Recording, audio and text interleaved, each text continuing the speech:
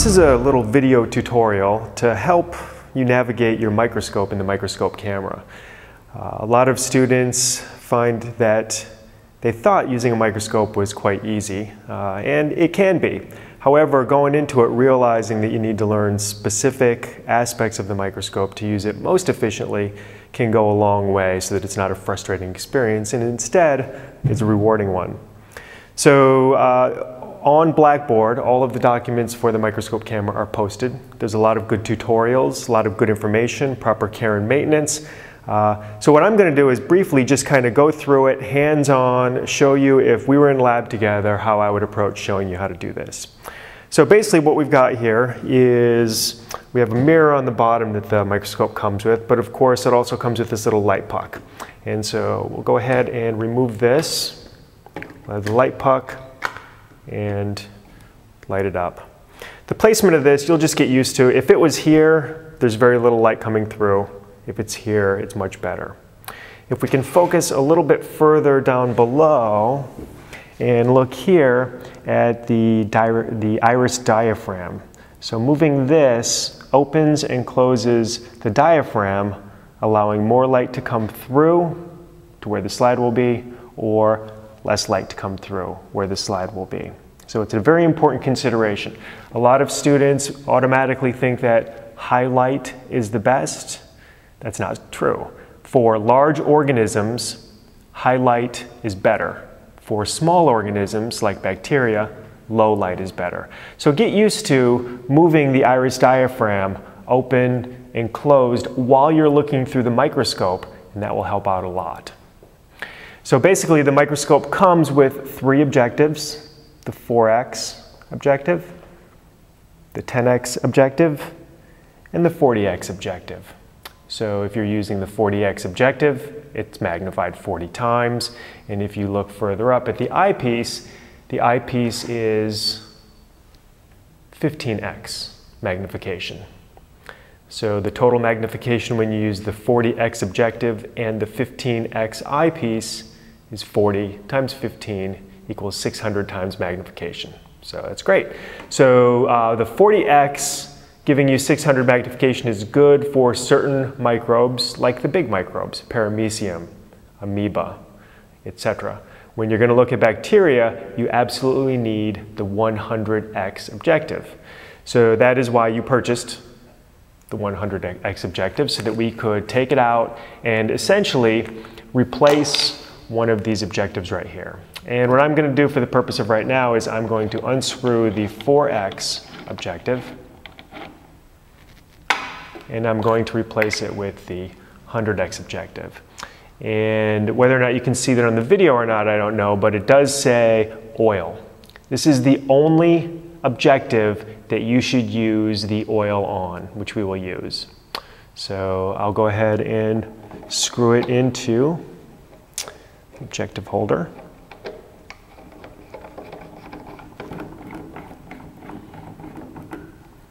So let's do some microscopy. So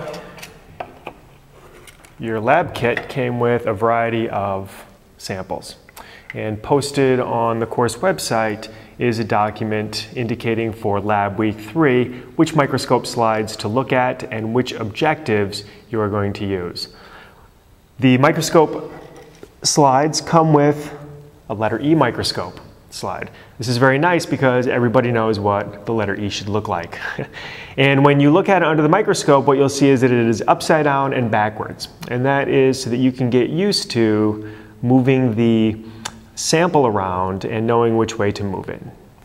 So we won't do the letter E, you should because it's easy to see, but what we're gonna do is we're gonna go right to one of the large microbes and let's go with, for example, the, oh,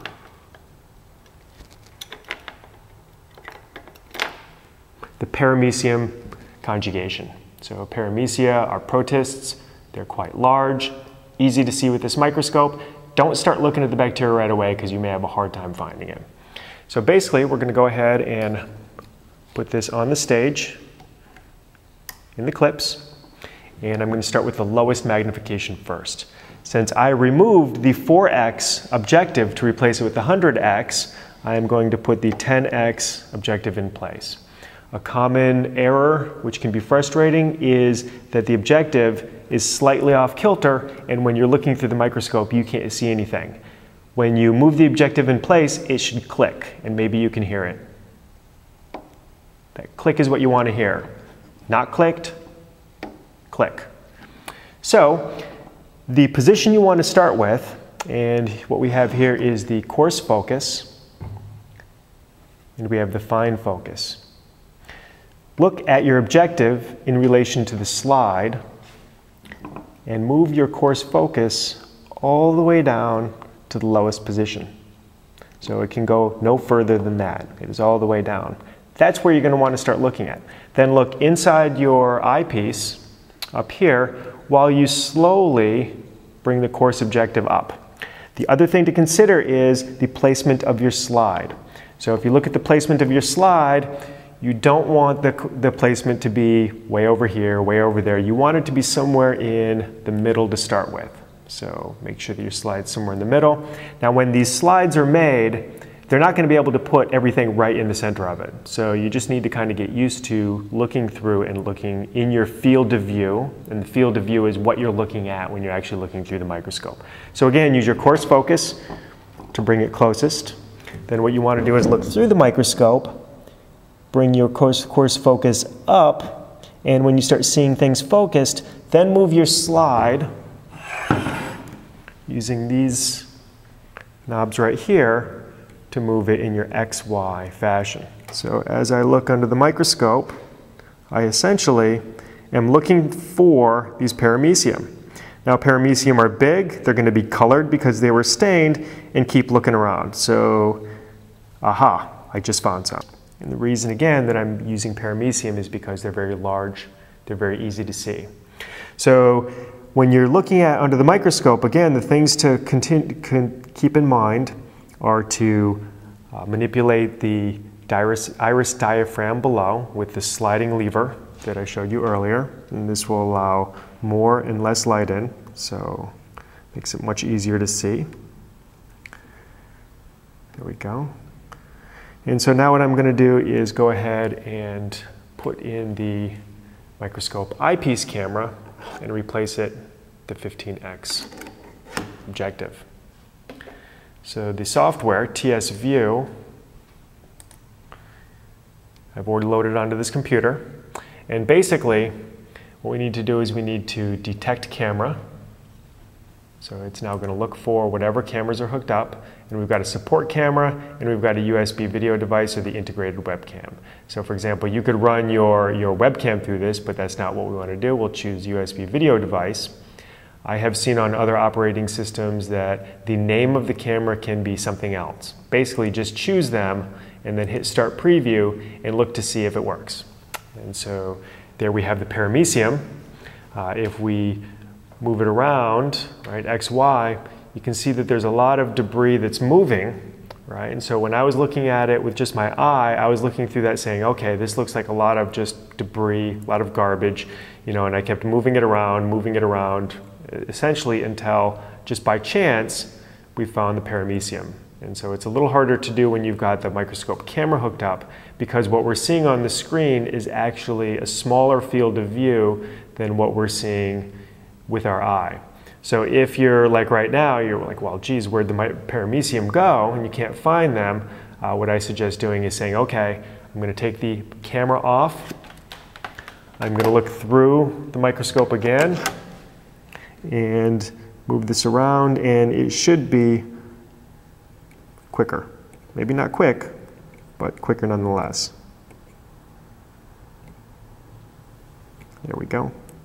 So now I found them put the microscope camera back on, and there they are once again. So again, if you can't find it through the camera, remove the camera, put the eyepiece back on, and look at it from there. Now, I told you originally to have the coarse objective all the way down. Okay, so that's what it would have looked like to begin with. Right, and so if you have it on there and you move the coarse objective slowly up, when you're moving the coarse objective, you can see that this is coming into focus, into focus, and there you have it. If you go too far, then you can lose it entirely. So if you don't happen to have paramecium in your field of view and instead, for example, you're right there and you start out, you're like, okay, I'm backing up, I'm backing up, I'm backing up. The fact that things came in very clear right there tells you that you're in good focus. But the question is whether or not your microbe is there. So that's when you need to move it around and look for it. So once you have an image that you, you like, I like that. Oh, I love looking at microbes. So it's beautiful. Look at this. These are two paramecium conjugating, essentially having sex. We've got cilia, which we can't see very well on this image, and then we've got the stained nuclei in the middle here. So the lab instructions say that you need a, an image of the paramecium at the 10x objective and the 40x objective. So since I've got it on 10x, what I'm going to do now is click to capture. We see the images down there. We can go open and edit. File, save as. We can then choose JPEG because those are very easy to import into a Word document. I'm going to save this as something descriptive, paramecium 10x. And that will remind me what that was. And I will go ahead and save. Great, so now we've got one image at 10x. We also need to look at it at 40x so that we can see the level of detail that we're missing here, all this fine detail. So basically we need to go back to the capture window right here. And we're back in the live image mode. So if we go back to the microscope here, what we do is we, we move the nose piece so that now the 40x objective clicks into place.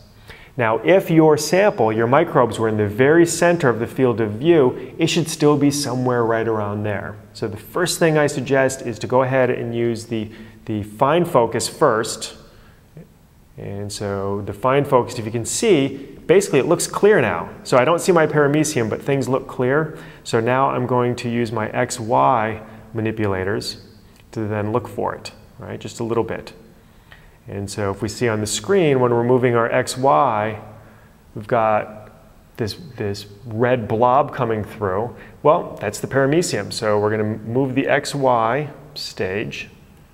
There we go so that it's there. So again, we are using the XY manipulators down here so that the slide would bring the paramecium uh, into the middle. So now that we have it on the screen, I can use the fine focus to then get it nice and clear. Look at that. Look at that beautiful microbe. Mm. I could do this all day long. So what we have here is where they're joined. We've got, again, the nuclei, nucleus of each one and we've got the cilia at higher resolution. And of course you could go up to 100x on this and see fine detail. You don't have to for this particular lab, but of course your curiosity will get the better of you, I'm sure, this semester, and you will be doing things above and beyond just because I'm sure that you will find this interesting. So once you have uh, that like that right there, maybe, maybe this is the image that you want to go. It doesn't, it doesn't, it cuts it off a little bit, but I understand that. So all we need to do now is hit capture. It appeared down here. Click open and edit. And then we can go ahead, file, save as, paramecium 40x and change that to a JPEG file. Oops. And there we have it. So we can go back to the capture folder file over here, or what you see up here is we have these little tabs and so essentially we can go back and forth and look at our images. So right there we've just successfully taken an image at 10x of these conjugating paramecium and then we essentially looked at one of these really up close uh, to look at the fine level of detail. So the only difference between that and looking at other things is really just the other microbes will have different sizes, they will have different shapes, and so you will have to look for them in different ways. The uh, one thing that you should definitely take advantage of, although you need to know how to use the microscope. You do not have to go through all of the procedures every time. Since this is in focus for this particular slide, I can take the paramecium conjugation slide out and I can put another slide in without moving the, the stage up and down or the objective. So let's see if this works. If I put it in, if we see that it is essentially close to being focused, right? So if we moved it back to the 10x objective, and let's see if we can, there's seems to be something blurry right there. So we may have just by chance have a microbe there. So I'm going to use the fine focus on the microscope.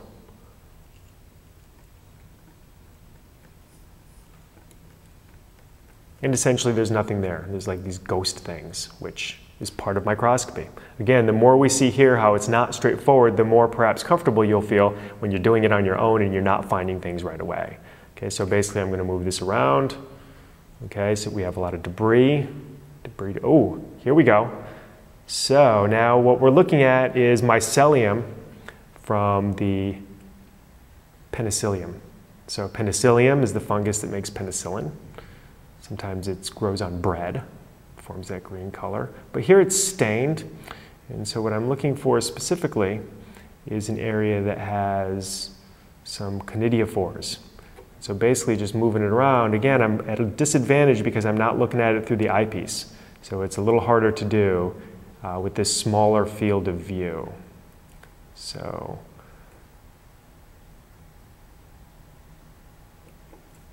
And again, it's somewhere on there. Here we go. There we go. This is the mass. And so a lot of this, so this, this is good, right? A lot of this is good. What we're looking for for finer focus is now we're going to zoom in on this area. So that is the 10x. So if we look at the 40x objective, again, we'll just move the xy until something is there, and then use the fine focus to bring the sample into focus. Maybe use the coarse focus if you need to. There we go.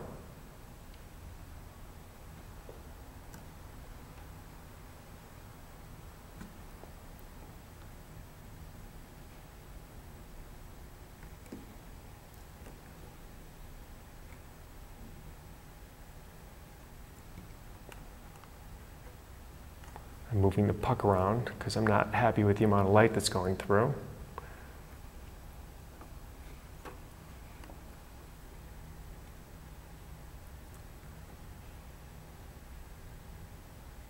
And what we're starting to see here, let's see with the 40x,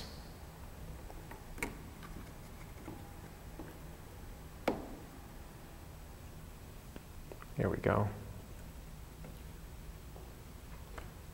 We see here some beautiful structures. And so this right here is a conidiophore, which you'll read about in your readings. And each one of these little spheres, you can see there's a line of spheres. I'll use the cursor. There's a line of spheres here. There's lines of spheres here. Those are each conidiospores. This whole mass is the conidiophore. And what you'll see in the directions for the lab is I want to see an image of these. I want to make sure that you could uh, uh, identify by using the microscope that you've actually got all of these structures. So we've got a long mycelial mass going here, and then it essentially culminates into this, this conidia spore. So again, this is the uh, 40x. What we can do is we can go ahead and go over to the capture. Down here, open and edit, and then file, save as the same as before. So I'm not going to save this right now. I just wanted to show you uh, finding the larger microbes. Okay, so that's the basics of getting good images, being able to look at fairly large microbes using this microscope, and then taking high quality images using the eyepiece camera. Bacteria are a lot smaller. If we look at this image as a gauge, most bacteria will be smaller than each one of these individual conidia spores. So you can see that the magnitude of what we're looking for is quite different. And so uh, it's harder. And so we'll, we'll, go back to the capture window. And first what I'll do is uh, take the penicillium with conidia out. I will now put bacteria coccus form in. Okay, and if you look at the screen, there's something there. Okay, so the question is, is that what you're looking for? Well, the, the, the thing I just told you was that they're going to be smaller than, what, than the little dots here, so we know that these big things are clearly the wrong size. And you really need to use your judgment and your logic when you're looking at this. Size matters when you're doing microscopy on microbes. So I automatically know that these are not going to be microbes. So, so don't take an image of this and upload it as bacteria, because that's clearly wrong. Okay, so what I'll do is I will use the, uh, the coarse focus. And when I look at this, what this looks like is imperfections in the glass or a little bit of oil or something on it. Okay, so, so aha. So if we start seeing, see those little, little blue masses? All these are the microbes, okay? And so this is right now, I am using the 40x objective. So this is magnified uh, 400 times. And the reason it's not 600 times, like we explained before, is the, the camera only is 10x magnification. So, uh, so basically for the bacteria, as you will see in the instructions, you need to get an image at using the 40x objective and the 100x objective. And what I'm going to do is I'm just going to move it around to kind of give you an idea, right? The fact that there's a lot of that right there, that when I change the focus, See, it's in a different focal plane. The bacteria are in one focal plane, but you can see these kind of ghost images all over the place. Those ghost images are those artifacts that are in a different focal plane, so we still see it, and that really does not make for good images. So if we pull it back, we want to get rid of this. So what I'm going to do is I'm going to attempt, maybe we can take the slide out. We can use lens paper. And so the lens paper is the only paper, tissue, cloth, etc. that you should use on your optics of the microscope. And so I'm also going to use one of these to wipe off slide because I've used this slide before, so it has some old oil on it, I'm sure.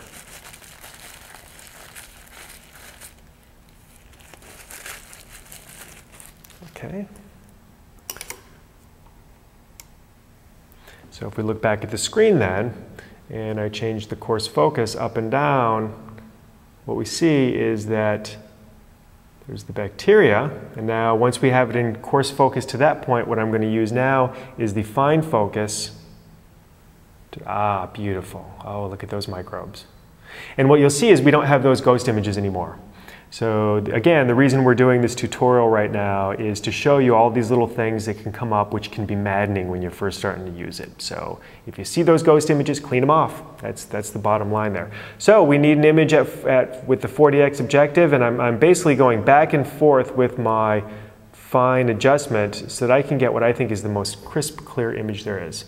So that looks really good to me. And so what I'm going to do is, uh, as we did before, I'm going to capture it, I can then open and edit, and then there it is. And I can file save as. If I want to look at it more, I can zoom in, right? So those little dots are the microbes.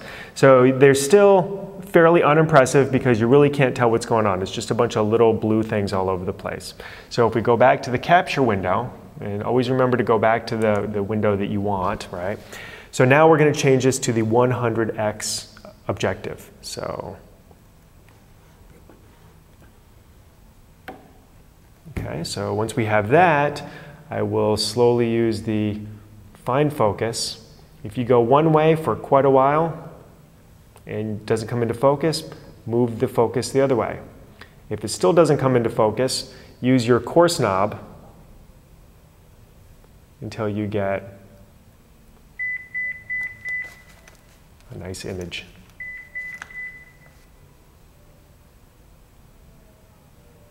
There we go. Okay, so hopefully what you'll see is that the blue dots are bigger, but they're, well, they're, they're kind of fuzzy, aren't they? They're, there's not clear resolution. And so the question is, why is it so blurry? Is it just as good as we're going to get? The answer is no. So from your reading, you should know what to do next. Everybody at the count of three, say what it is. I'm just kidding. Uh, it's the oil right? So that's what this oil is. The immersion oil, uh, as you'll see in your reading, increases the resolution by essentially uh, collating the light and putting it through your sample. So basically what we need to do is, uh, and just for the sake of comparison, why don't I take an image, I'll get this in the, the best focus that I can, which appears to be right around there. I'm going to go ahead and take a, a, a capture of that. Right. And then what I'm going to do is, if we look at the microscope again, move the objective out of the way, take the oil, put a one drop, slide the 100x objective directly into the oil, and then if we look at the screen again,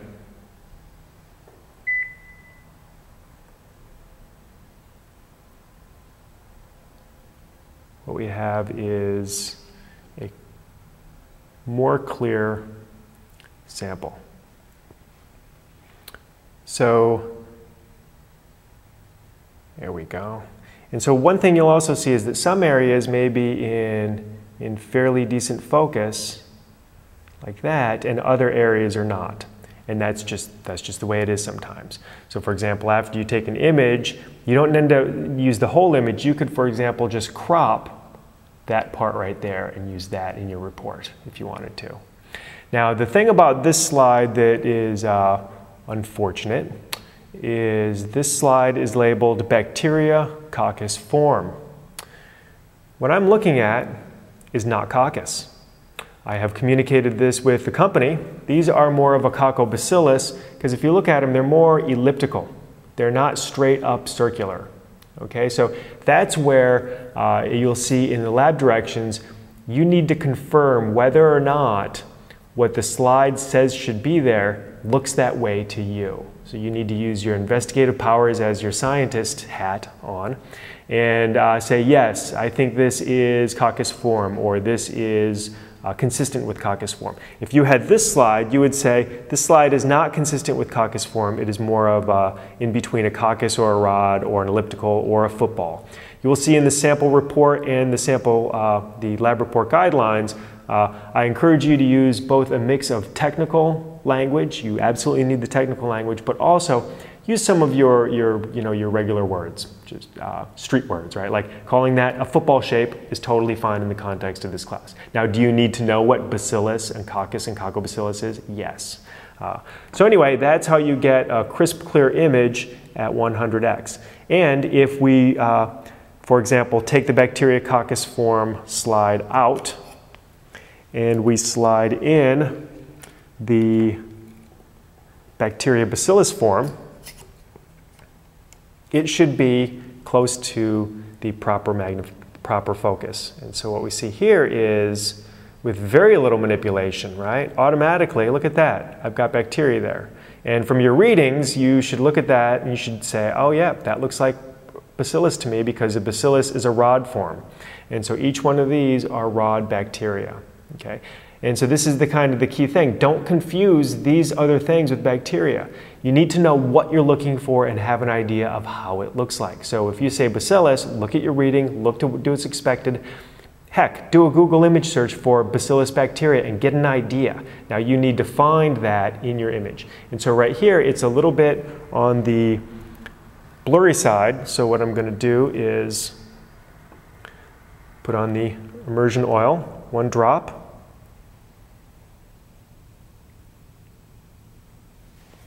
slide the oil immersion lens directly into it so it clicks, use the fine focus, and what we see is that some of these images, uh, some of these bacteria are quite easy to see.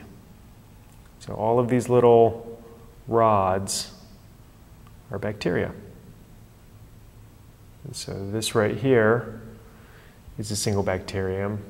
This is a single bacterium. This looks like it's a bacterium that's starting to divide.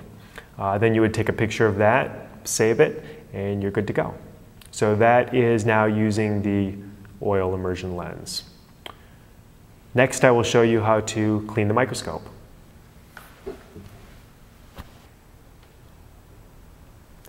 Okay, so when you're done using the microscope, obviously you want to remove the camera. put its cap on, put the 15x eyepiece on, turn off the light. And what you want to do is you want to bring the objectives all the way up, out of the way. Take your slide off. And the first thing I always do is I take the lens paper and I'll double it over. And you want to push up on the oil immersion lens. So if you listen, maybe you'll hear it. So it actually goes up into the housing. That's to protect it so that you don't ram the, the optics into the slide. So when I wipe it off, you can see all the oil that's on there. So I'll use a new piece, pull it up, and basically I'll keep using new pieces of the paper until I'm convinced there's no more oil on it. You know, when I teach this in person, students seem to think they've got it clean, but then I come along with my lens paper and magically find some oil still there. This is your microscope, right? So, um, you know, if you sell it back, it needs to be in fine working order. And if you keep it for science fairs to show people cool things, you want to make sure it's in, in good repair. So once that's cleaned off, um, the other thing you want to do is you want to clean the oil off of your microscope slide. And really, you're just smearing it off with the lens paper. That's all. When you use one up, grab a fresh one.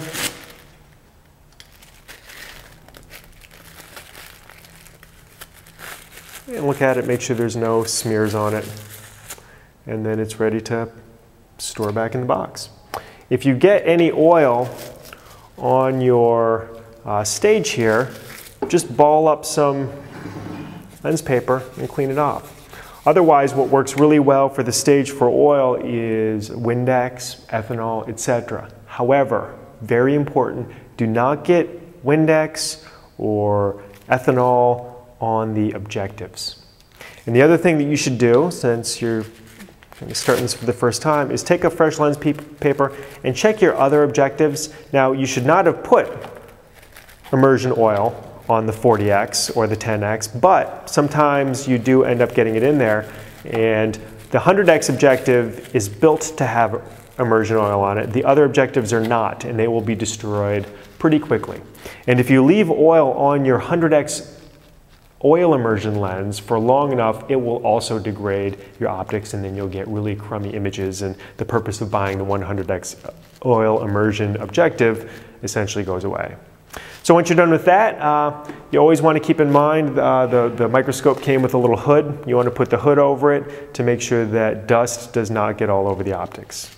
And of course, there's a lot of information in the, the books that came with the microscope and they are loaded on Blackboard. So make sure you go through those, right? This is just uh, some things that I've seen people have issues with. I wanted to show you firsthand uh, how to do it. So happy microscoping.